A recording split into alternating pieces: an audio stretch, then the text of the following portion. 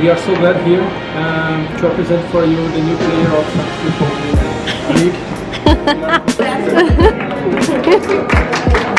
How's the Caipirinhas coming along? They're coming along really well. Today we're walking around the historical town of Santos with these two. Can you see her? She's very she? Juliana and Gustavo.